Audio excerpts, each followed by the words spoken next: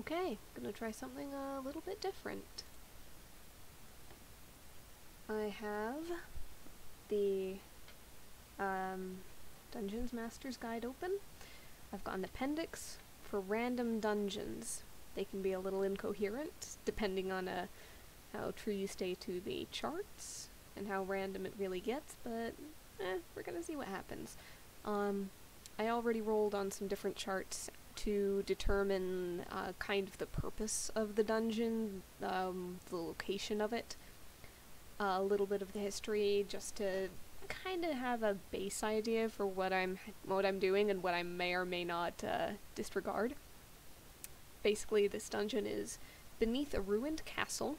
It was built as a tomb, and the creators were destroyed by a natural disaster of some sort. So that uh, opens up a lot of opportunity for things like caved in passages if they go somewhere they really shouldn't, or blocked off entrances, or things like that. Um, it also means that I'm going to be disregarding most uh, stairs results on the passages, as I'm going to make this just one level. I'm kind of making it large and long. Um, you can kind of see there. I counted up, I've got a grid base already, and the squares are about 36 squares across and 60 up that way. That's how much space I'm giving myself to play with. Um, so that's uh, like 180 feet by 300 feet. Um, not the biggest dungeon by any means, but uh, you know, enough to enough to have a bit of fun. Um, I'm gonna go ahead and start with a starting area. That's a D10 on the chart, so you're gonna hear a little bit of rattling of an actual die as I'm sitting here. Um, but I'll kind of narrate what I'm getting as I get. That's a 10. Passage, 10 foot wide, four-way intersection. So, I'm just kind of blocking this out with white on the black. I'm starting down at the bottom here. Um, I'm going to give a little bit of a five foot clearance and I'm going to start kind of in the middle, presuming that um, the entrance to the castle might be somewhere in the center above, also that gives me room to kind of go left, right, and up as I go along. So let's kind of start about there. Um, so you're going to have stairs going down into this. Oh, passage width is also a good thing to have. Uh, let's do the full D20, so it could potentially be a very wide opening passage. So roll that. I got a 20. It's a why I'm I'm rolling high numbers here. Um, so it's 40 foot wide, 20 foot high. Gallery 10 feet above floor allows access to level above. There is no level above necessarily, so we're ignoring that. However, it is going to be a 40 foot wide, 20 foot high passageway. I don't really have a way to demarcate height, but uh, this is a big one. So we've got, let's start over here about, whoops, come on, don't do that to me. 5, 10, 15, 20, 25, 30, 35, 40. And that was, oh, it did say 10 feet wide passage. Well, you know what? I didn't think it through. I'm just going to go with it. Um, it does not say how long the passage would have been. So I'm just going to... Hmm. Maybe I'll reverse that. 10 foot wide, but I'll give it a 40 foot long. It's going to start a little off center for that reason. So 1, 4, 5, 6, 7, and 8. Yep, there we go. So we've got that beginning area it's got a four-way intersection, which means it does continue onward some extent there. I'm just going to give it a little little uh, par partial thing to remind myself, and I'm to say that the passage continues 10 foot in the intersection, however, um, that might change as we go along. So I'm to keep that at a 10 foot wide up until it either hits a chamber or has some reason to split. So for passage, I've got three passages I need to do. Uh, let's kind of go, let's kind of go around the uh, clock, as it were. So starting on the left-hand side, I got a d20 roll for the passage, detail 14. Continues straight 20 feet, and then the passage turns right and continues 10 feet. So, we've got 5, 10, 15, 20, and then it turns right and continues 10 feet. So, um, think about turning right. I'm going to let it have an extra 5 foot breathing room. 5, 10. Just because I've made this such a wide beginning passageway, let's kind of square that off a little bit better. There we go. A little nick in the corner, but it won't hurt anything. Okay. Uh, end of that passage. Let's see. Roll, roll multiple times on the passage, extending the length in branches until you arrive at a door or chamber. Alright. Okay. So that pretty much just continues. Um, that's another d20, that's an 18. Oh, chamber. Rolling on the chamber table. Um, so I'm gonna go ahead and I'll come back to that. I might just continue on the passages for a little bit. Oh, on second thought, that chamber could be big. Let's do the chamber first. First time doing this. Uh, seven on the chambers. Uh, rectangle, 20 by 30 feet. And technically, that can probably, that doesn't have to be centered, so I'm probably going to scoot it off this way just to give it a little bit of space. So I'll start about 5 feet here. So let's uh, let's make the rectangle go that way. So 5, 10, 15, 20, 25, 30, 10, 15, 20. So it's not a big chamber. It's a fairly small one right there. Um, probably serves about some purpose. Uh, let's see. So I've got that chamber exits is another d20. That's to determine whether it goes um, any particular ways. Uh, this is a normal chamber, so we use that column.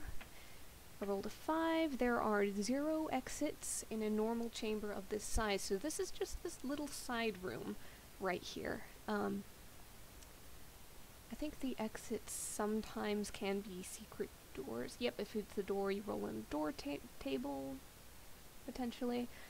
Um, however, that one is a dead end. Uh, some little side chamber kind of in this entry area. Um, maybe it's a small chapel, maybe a preparatory area, given that this is a tomb. Um, maybe it's a kind of a side, um, oh, what's the word? A side chapel, where people could have uh, gone to um, kind of speak with their dead, the way you might stand in front of a gravestone or the like. However, we're going to go on to this next passage, going straight upwards, so we're going to d20. That's a 2. Uh, continue straight 30 feet, no doors or side passages, so this is going to keep on going. Wish it didn't do that. So, that's a 5, 10, 15, 20, 25, 30. Another d20 as it continues on. That is a 4. Continue straight 20 feet, door to the left, then an additional 10 feet ahead. Alright, so we've got our first, stop it, first door. So 5, 10, 15, 20. There's going to be a door on the left hand side, and then it's going to go another 10 feet. So I'm just going to give the 10 foot thing there. Um, go to another layer. And let's go ahead and make a stroke on this layer just to make this whole door thing a little bit easier. Make that black, 3 pixels sounds good. And I'm to make a little door. So door on the left. So that's gonna that's gonna open up to something just beyond that uh, first chamber. That'll be interesting. Um, let's say that it's right about there, just a little like five foot door probably. Yeah, there we go. So door type. Roll on the d20 chart. It's a four. It's just a simple wooden door beyond the door. d20, it'd get 11. Uh, another chamber all on the chamber table. A lot of d20s. So that's a 19. Oh hell, that's an octagon. I've got a 60 by 60 foot octagon. Hmm. Let's see, do I have 60 feet to work with? That's a 1, 2, 3, 4, 5, 6, 7, 8, 9. I should. 12. Yeah. Yeah, I got it.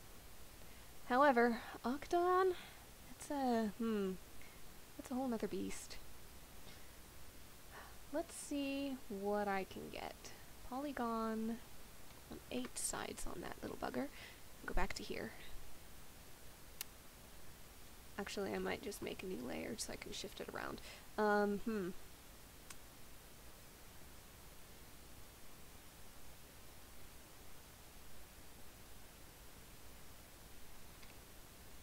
Oh, oh, it did that, okay. Okay. I'm gonna have to clearly put this kind of in the middle, just in order to get the damned thing. So let's see. That looks like it's about 5, 10, 15, 20, 25, 30, 35, 40, 45. Eh, a little bit bigger. Alright, not perfect, but it's close. So, look at this great big stop sign of a chamber. Hmm. Ooh, that, uh, that could get tricky. Yep, this is where we start fudging things just a little bit in order to make them work. Because we've got a great big octagon chamber here. A, we've got to actually scoot it so that there's a bit of wall. B, um, it may or may not be exactly 60. C, we need to scoot this door a little bit. So, the door is actually going to be kind of at the culmination of that, uh, yeah, good enough. Alright, so we've got a great big chamber here. Um, potentially you can kind of attach uh, doorways, you can connect areas that uh, are right next to each other but otherwise not connected, just to make more paths and give players more options. So we might actually go ahead and go back to our rectangle tool. There we go. And let's go ahead and make another door right there, just to just to connect between the areas, just a passage. So we've got a couple of ways into Octagon Room. Meanwhile, this octagon is a great big chamber, and we need to determine how many other exits there are. That might count for one. So I got a 16. In a large chamber, there are three exits.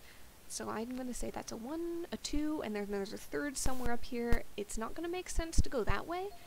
Um, it might go north. That's the one that makes the most sense. So I'm not going to bother rolling on the chart that says exactly where that exit is. I'm just going to say that it's up here. Um, however, there is a potential for exit type, whether it's a door or a corridor. So a 2 means that it is another door, so we're going to roll door type, we're going to roll a little bit of a uh, little bit of um what's beyond the door. Type of door is iron, so that might there might be something important beyond there. Um, or that could just be, you know, random dressing. Let me uh let me scoot that upwards just a little bit. And you know what? I'm going to edit the stroke on these. Whoops so that is just a little bit, uh, a little bit more. Oh, and I want the opacity there. That's that's a little bit better. I didn't realize the opacity was that low. So four pixels. That's a nice thick line. We got it. Okay. Beyond the door. 17 is another chamber. So uh, we're we're butting that chamber up against a lot of things. So that's a rectangle, 50 by 80 feet. We're very quickly running out of space. Um, so, right away, right away we've got... Oh, let's go ahead and, uh, since we're done resizing that, we can scoot that down. Right away. Um, it's not going to be perfectly centered, so let's put this out to about, um, right about there. So that's a 5, 10, 15, 20, 25 actually.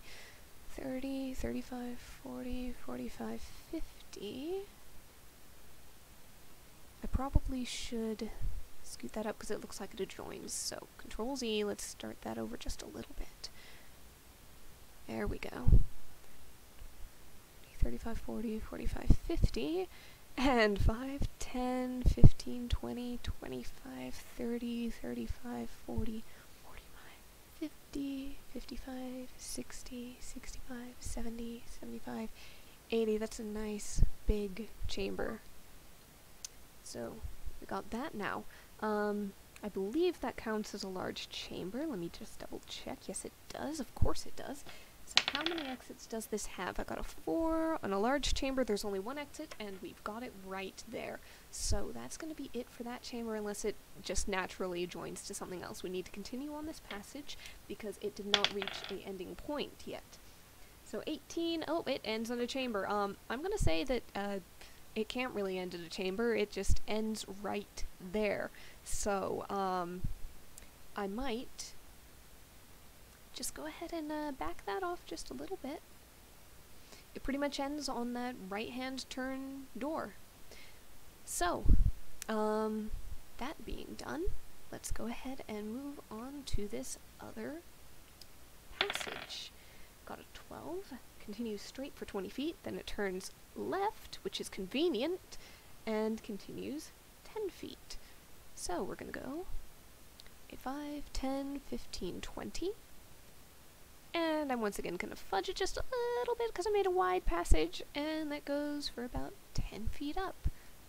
Let's widen that passage out just a little bit. I missed a little bit. There we go. Alright, that continues. Uh, 20 stairs, um, which means I'm rolling again because I'm not doing any multiple levels in this. This is a single level dungeon. So that's a 4. Continues straight 20 feet, door to the left, then an additional 10 feet ahead. So uh, we got that again. We got that side thing. So it might hook up with that. Um, it might just make sense to do that. So we got 5, 10, 15, 20. There's a door that's not going to really lead much of anywhere unless it's a tiny storage closet and then it continues another 10. So, uh, we're going to go ahead and stick this door in, just so that we see it there.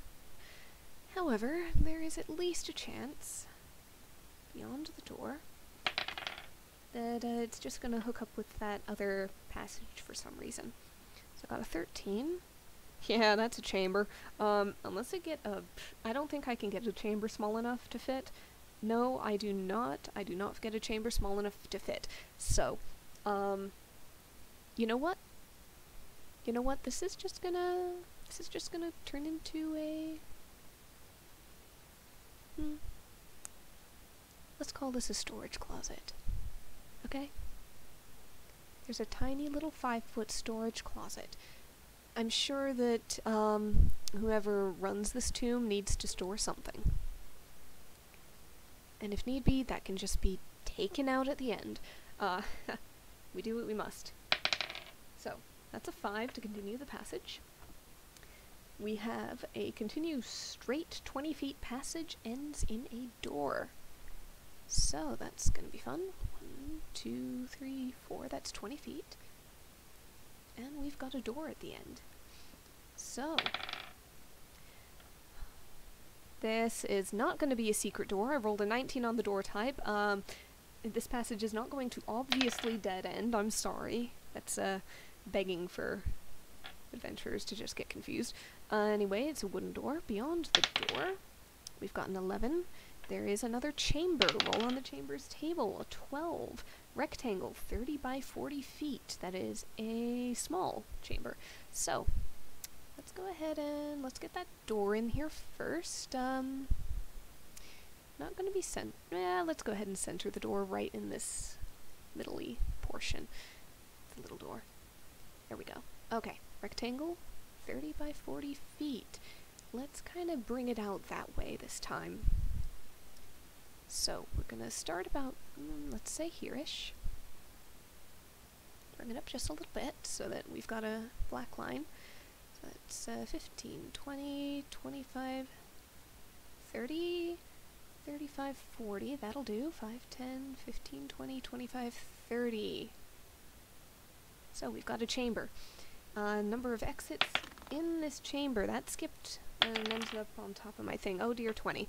Um, normal chamber, there are four exits. Uh, probably want to say one on each wall, but let's see if any lead back down this way. I'm going to ignore any result that goes this direction just because it's a little bit ridiculous. So exit location, D20. Wall opposite entrance for 1. Uh, 11, wall left of entrance, my disregard, so we're re-rolling that, we're re-rolling it again. 16, right of entrance. Okay, so opposite, right. Um, I'm going to either take the opposite or the same wall, if depending on what I get. So there might be a reroll. Okay, opposite. Two on the opposite, one on the right. So, we're gonna go ahead and let's kind of space them out here. Just, oh, nope, nope, nope, nope. Stop doing that.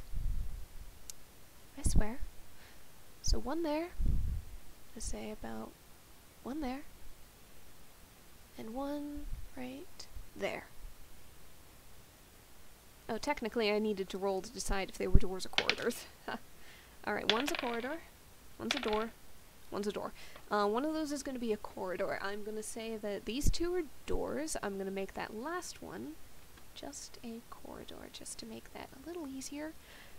And I'm going to go ahead and uh, do a passage just to get that done. I'm going to make this one a little narrower. I'm only going to do a 5 foot now that we've gotten past the main entrance.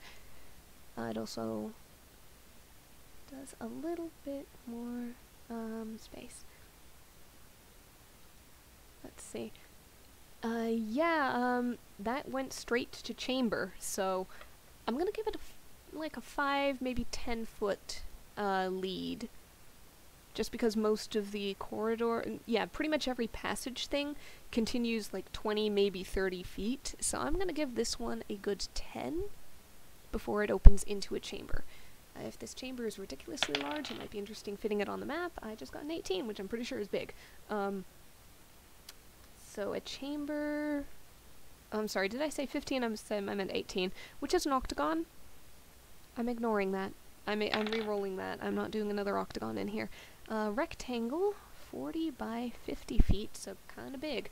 Um, but I can kind of stretch it down this way. So let's go ahead and kind of start it up here.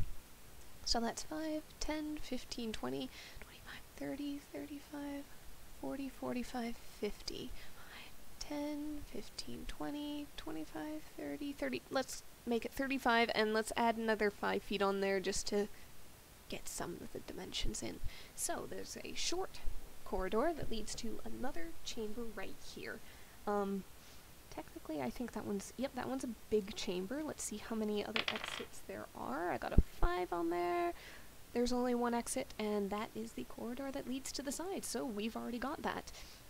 Now, beyond these doors, let's go left then right. Left is a 20. It's a false door with a trap. So, uh, any Tomb Raiders are in for a nasty surprise if they choose the wrong door. Um, I'm gonna say it's completely up to the DM if these doors talk and one speaks truth and the other lies. Uh, yeah, that's a uh, that, that will be your call, your game. Beyond the other door, 15. We've got a chamber.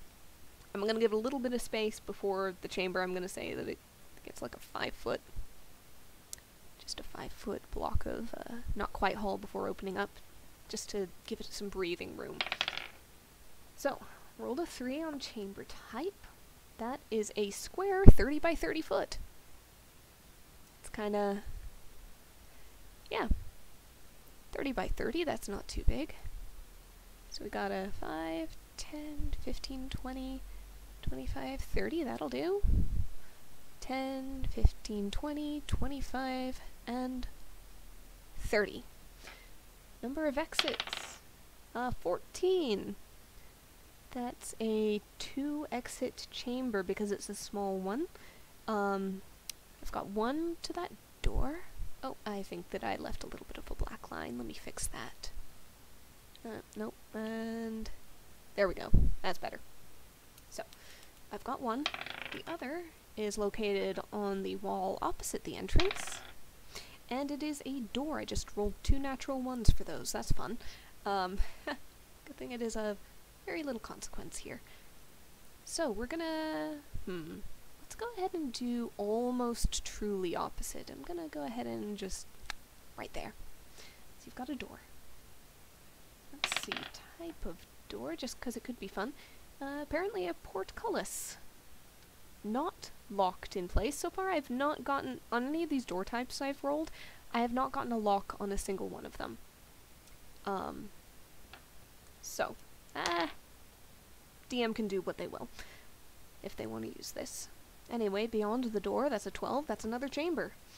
So, that's a 7.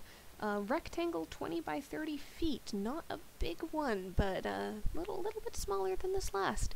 Let's go ahead and butt this one right up against. That's a good 20. 15, 20, 25, and 30. So, chambers are gradually... Whoops, oh no. Wrong layer. Anyhow, chambers are gradually getting smaller. There we go, fix that. Ah, there we go. Alright, this one. Seven for exits. There's one exit to this chamber, so we've already found it. I did not actually use all of the map. I could stop here, or I could just add a little more fun. It's always an option. Um, because frankly, this could be the big burial chamber, but that doesn't necessarily make sense if this is the false door for traps. The big burial chamber is probably just beyond here, so we're going to go ahead and end the uh, randomizing, and we're just going to make the biggest burial chamber or burial chamber network, just kind of uh, doing little blocks here and there. However, we do need like the absolute biggest one for the most important way at the back here. Right there. So that is going to be the main area, the main chamber where like the kings are buried, their uh, their riches are stored in vaults and so on and so forth. Um, let's go ahead and say that this is like the final area before that. Like this is a burial chamber for uh, some fairly important folks. That's the big secret one, however. Um, so this is kind of almost a red herring burial chamber. This is a temple right before it. Uh, this is a small chapel or preparatory area right before the temple. Um, this is kind of like, not quite a back hall, but something like that. Um, I'm going to go ahead and get rid of this little useless storagey closet thing that I wound up with. Uh, let's go ahead and get rid of that as well. Because we don't need that door, it didn't lead anywhere. Um, oh, whoops. Deselect. Um, so we'll leave that be. Perhaps this area is the one with the uh, the little storage closety things. Uh, let's go ahead and let's whoops. Let's do that. So that's the uh, that's the side way in for various um, various priests or the people who prepared the bodies and so on and so forth to kind of just go in this main entrance and go over here. Um, and we can go ahead and actually, um, for on second thought there, always forget X. Um, let's just uh, let's just go ahead and Get rid of that. Let's go ahead and make that a narrower corridor. There we go. That's like the surface corridor right there. Um, there might be another door just because it is... It's basically the employees only entrance, the, the employees only go uh, way in kind of bypasses this uh, front waiting area if need be. Um, you just straight shot and go into a side door in this main temple area. Um, meanwhile, this fork goes up to uh, this area. Uh, let's say that these are this is the entrance to like these. Um, it is under a castle. It's not necessarily going to be common catacombs, but the slightly more common catacombs. Um, so we can go ahead and add let's go ahead and add a few little uh, snaky catacomby areas just for just for the fun of it. Um, like that's the main area. We can add some little caverny areas here. They have uh, maybe a few rock formations in them, little alcoves and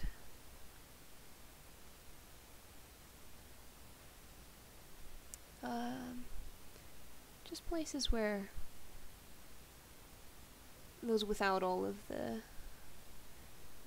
uh, the fancy tombs and sarcophagus and so forth get laid to rest. Uh, this one's more like alcoves for um, cremation jars or the like uh, might be put.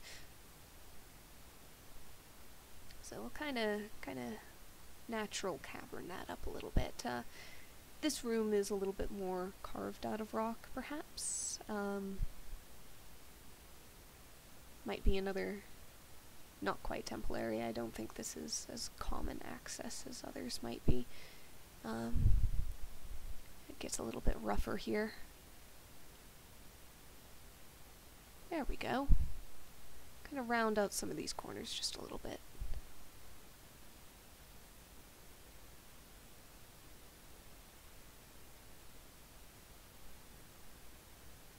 There we go. Just kind of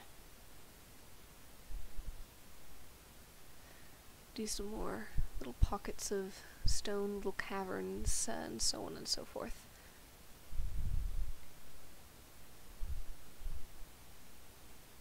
A very narrow passage there. Kind of snake it around. Make little warrens almost with this. Hey, why not? Let's uh, let's have some fun. Um, just really uh, really rabbit this up a little.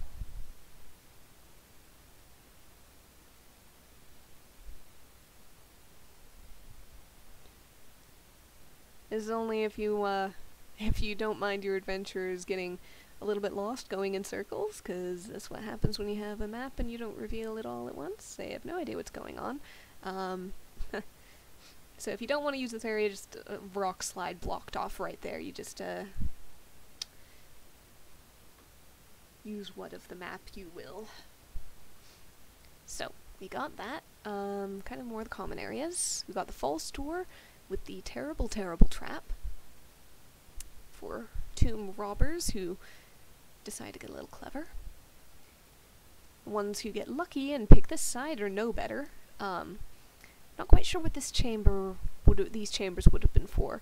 Um, perhaps some more like uh, maybe a little bit more of the minor nobility. Like this is major nobility, this is pure royalty, this is minor nobility. So you kind of have this as the red herring. You know, oh here's where all the here's where all the treasures are. Here's where all the special stuff is. No, the actual like the heroes of old, the ones that uh, amassed the magic items and the dragon hoards and so on and so forth, and maybe tried to take it with them in death. They're back here, and the way to get back there, there's going to be a secret door in here somewhere. So we're going to go ahead and we're going to put in a big double door right there. And let's go ahead and put in just one more antechamber. This one, maybe there's a little bit of a trap. Maybe there's a little bit of a riddle to be had about it. Um, you know, just just for the fun of it, let's put some uh, let's put some circular pillars like down the sides. That's fancy.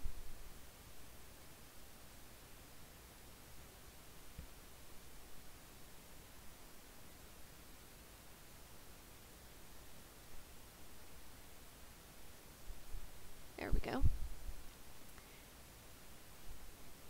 It's a little rough, but we get the idea.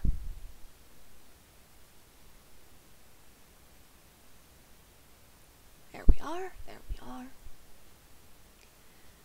Um, that bit's easy enough, however, in order to get to this, let's, uh, let's kind of loop something around here. Um, one more chamber. Maybe there's, uh, maybe there's a two-step, whoops, wrong tool, wrong color. Uh, maybe there's a two-step, like, testing process, trap process that you have to kind of work your way through if you're an adventurer and you're gonna get that far. Either these people, uh, whoever they were, were hoping maybe that their amassed treasure would someday, someday uh, go to some greater adventure or some other hero, some good, or maybe they're just, uh, hmm, need to go back to the white instead of just staying on the black color. Maybe they're just, uh, uh, weeding out the worthy, or maybe they just want to, you know, keep it for themselves. They are the uh, the dead keeping their treasures. Um, but that's another trap uh, test chamber. Call it what you will, for what purpose you want. Um, the way to get into it is there is a secret door, and for that purpose, I'm gonna actually like put that door up here so that it doesn't show up on the visible map as you like uh, reveal rooms if they are hidden. Uh, you don't actually see that door um, when you reveal this particular block. The adventurers have to actually find it, they have to investigate it. Uh, DC ups up to you, of course. But if they do find it, very narrow passage, testing grounds.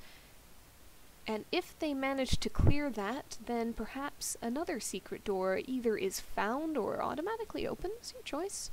Um, right up there. Uh, let's go ahead and redo that right there. And clearing that lets you advance. I'm gonna make an awkward five foot wide uh, corridor, going halfway up the squares, because of course, but lets you up into there, and there is that entire secret area. Um, so yeah, that's gonna be a that's gonna be a dungeon. That is some fun. Um, got a falls door. We got a couple of uh, secret doors, some uh, a testing room, possibly two if you want to put something else in there. Um, otherwise, stock it with uh, maybe some shambling undead, maybe something went wrong magically, or maybe some other monsters, or like a cult moved in, or something like that. Whatever makes sense for your campaign, your uh, players, your so on and so forth. Um, I'll probably add some little uh, sarcophagi and so on in these rooms, but for now, it is unfurnished, but the layout is complete, so I'm going to call it done right there. Um, so yeah, thanks for watching. We're gonna call it quits. Uh, first randomized live dungeon, so to speak. Um, so that was interesting. Maybe I'll do it again sometime. Maybe it'll be something a little bit different. Uh, we'll see. Um, I'll go ahead and it, maybe I'll color this up. Maybe I'll uh, stock it or decorate it or something. Uh, either that or it'll stay black and white kind of like this and you can furnish as you will.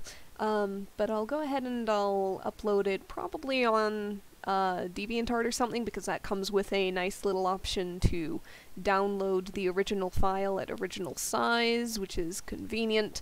And uh, yeah, if you play something online and you need a little bit of a little bit of a tomb, well, it's an option. So, have fun.